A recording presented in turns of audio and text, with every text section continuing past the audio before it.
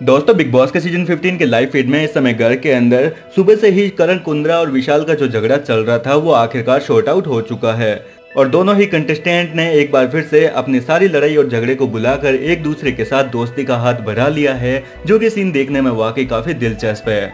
दरअसल दोस्तों, विशाल कोटियर ने बीते दिन टास्क के दौरान समिता शेट्टी के साथ टाई अप कर कर करण कुंद्रा को टास्क के दौरान धोखा देने की प्लानिंग बना ली थी, जो कि करण को बिल्कुल अच्छी नहीं लगी थी। और इसी बात को लेकर करण कुंद्रा ने घर के सभी कंटेस्टेंट को एक जगह पर इकट्ठा किया और इस मैटर को शॉर्ट आउट करने के लिए कहा। जिसके बाद दोस्तों, करण ने विशाल को बातों ही बातों में कहा कि, यार, तूने जिस तरीके से समिता के साथ बात करके प्लानिंग करके मुझसे छुप के जो प्लान बनाया है, वो चीज़ मुझे अच्छी नहीं लगी।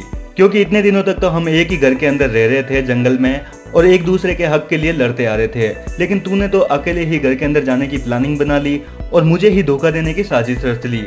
जिसके बाद दोस्तों, विशाल को कहीं ना कहीं अपनी गलती का एहसास हो गया और विशाल ने अपने कान पकड़ते हुए करण कुंद्रा से अपनी गलतियों के लिए माफ़ी मांग ली। जिसके बाद करण ने भी बड़ा दिल दिखाते हुए विशाल को कहा कि, चल, कोई बात नहीं मेरे भाई, गलतियाँ तो हम इंसानों से ही होती है।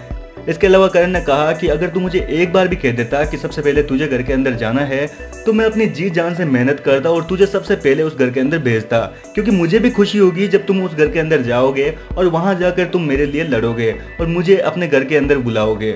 ये सुनने के बाद में कहीं ना कहीं विशाल को अपनी सारी गलतियों का एहसास हो गया और आखिरकार इनके बीच में चल रहे झगड़े का खात्मा भी हो चुका है। कुल मिलाकर दोस्तों कहा जाए तो अब एक बार फिर से घर के अंदर दोस्ती की लहर छा चुकी है, जो कि देखना वाकई काफ़ी ज़्यादा रोमांचक है।